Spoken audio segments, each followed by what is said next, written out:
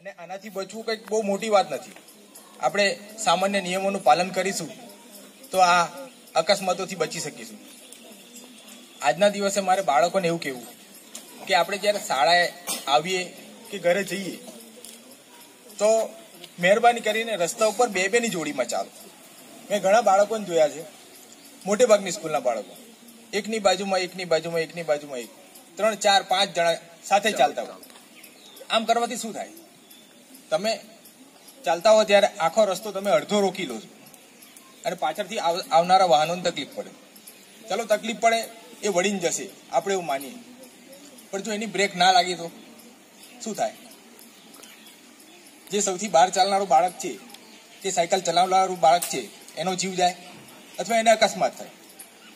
અને અકસ્માત એવી વસ્તુ છે, જે ડગલે પગલે નથી થતી. આપણા આપણને એવું લાગે કે આપણા જોડે શું થાય? અકસ્માત આપણને નહીં થાય. પણ એ જ્યારે થાય, ત્યારે આપણને ઘણું મોટું નુકસાન થાય.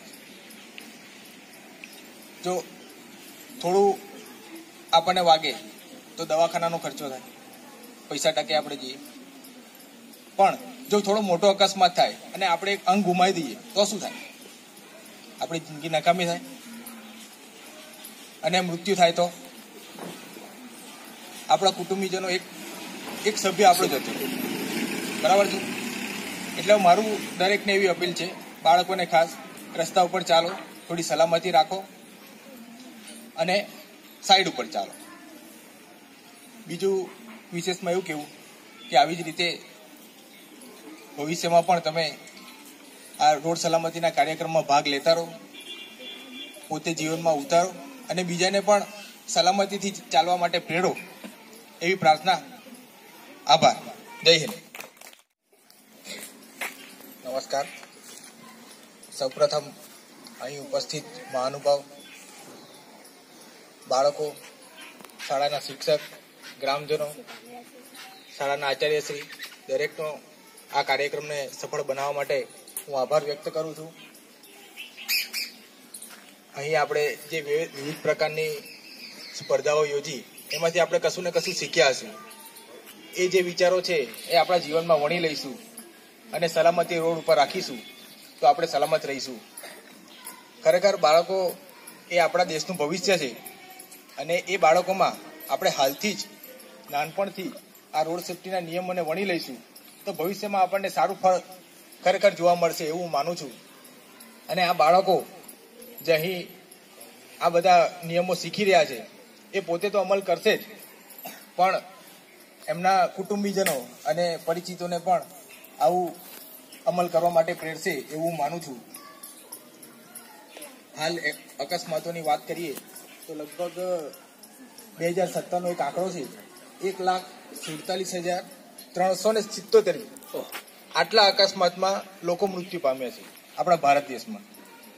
ગણતરી કરીએ તો એક દિવસમાં ચારસો લોકો. એક કલાકમાં સત્તરથી વધુ. આનું મુખ્ય કારણ શું છે? ખૂબ ખૂબ અભિનંદન સાહેબશ્રીની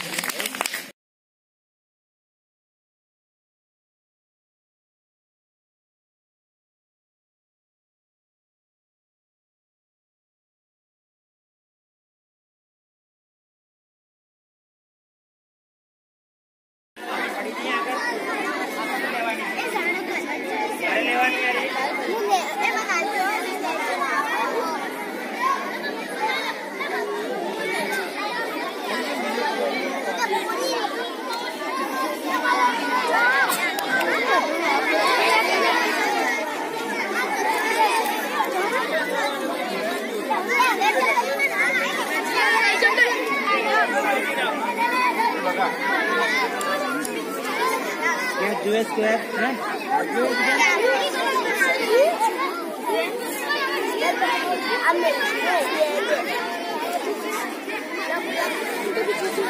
कलर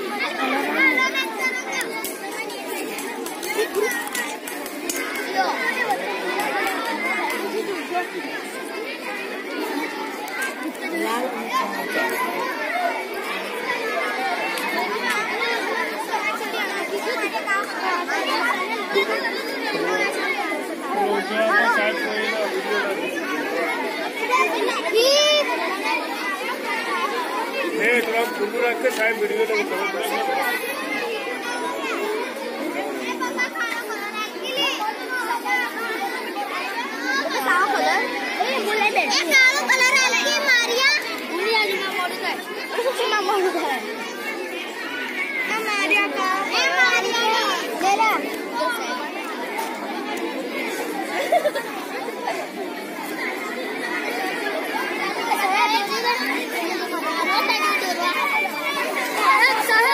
没有，没听，阿德贝。你没事吗？阿尼曼说的。你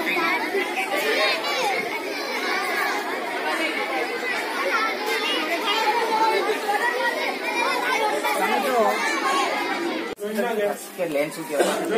ચલો બતાવો ને સમજો એક જ એક ગુરુ, ગુરુ. જો આ જે તૂટક લાઈન છે પીળા રંગની તૂટક લાઈન છે એ ઓવર- સાવચેતીપૂર્વક ઓવરટેક કરવાની સૂચના આપે છે. અહીંયા તમે ઓવરટેક કરી શકો માનો છો કે અહીંયાથી વાહન જાય છે અને એને ઓવરટેક કરવો તો આ બાજુથી જમણી બાજુથી ઓવરટેક કરી શકે છે. કારણ જ્યાં તૂટક તૂટક પીળા રંગની લાઈન હોય ત્યાં હંમેશા ડ્રાઈવરે સાવચેતીપૂર્વક ઓવરટેક કરવાનું રહે છે. એ રીતે જો સફેદ રંગની તૂટક તૂટક લાઈન હોય, તો એ તમને ઓવરટેક કરવાની સીધી પરવાનગી આપે છે. પણ અહીંયા સાવધાની સાથે કરી શકો છો અને અહીંયા ઓવરટેક કરી શકો લાઈન હોય ડિવાઈડરનું કામ કરે છે તમને બે લાઈન જુદી પાડે એક લાઈન જવા માટે છે અને એક લાઈન આવવા માટે છે. અહીંયા આપણે ઓવરટેક કરી શકતા નથી. એટલે આવી રોડ પર આપણે કે આપણા વાલીઓ રોડ પર આપણે સાથે હોય વાહનમાં અને આવી રોડ માર્કિંગ આપણે જોઈએ તો આપણા વાલીને ખબર ના હોય તો આપણે એમને સમજાવીએ કે પપ્પા, અહીંયા ઓવરટેક ના થાય. અહીંયા આપણે ઓવરટેક કરવાનું નથી. અહીંથી ઓવરટેક કરાય ઓવરટેક આ બાજુથી કરાય, બધું આપણે સમજીશું એ રીતે રોડની બંને લાઈન જુદી પાડવા માટે આ તૂટક લાઈનનું માર્કિંગ કરવામાં આવે છે. એક લાઈન ડાબી અને એક જમણી છે એ રીતે. અથવા એક લાઈન આવવા માટે એક લાઈન જવા માટે છે. એક લાઈન ચાલવા માટે એક લાઈન ઓવરટેક કરવા માટે છે. આ ત્રણ રીતે આપણે આ લાઈનનો રોડ માર્કિંગનો આપણે ઉપયોગ કરી શકીએ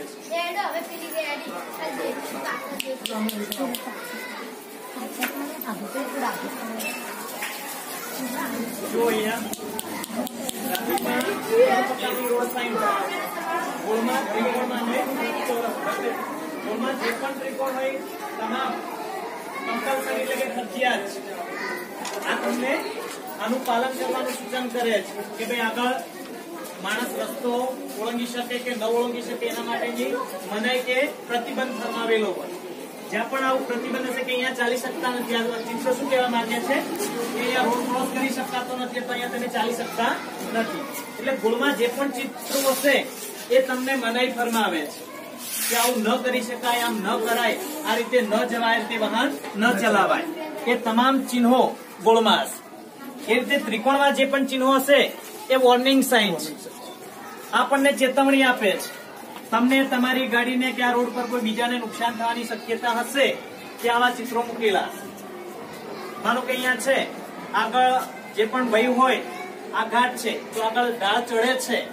એની ચેતવણી આપી છે ભાઈ, ગાડી ચડતી હોય અથવા ઉતરતી હોય, તો ત્યાં તમારે સાવચેતી રાખવાની છે. એ રીતે આગળ રોડની વચ્ચે જગ્યા છે, આ સૂચન કરે છે. કે ભાઈ અહીંયા રોડની વચ્ચે વળવા માટેની જગ્યા છે તો કોઈ ગાડી વળી પણ શકે અથવા સાઈડ પણ લઈ શકે તો સાવચેતી રાખવાની છે. એ રીતે આગળ સુપડી આકારનો જોખમી દીપ છે.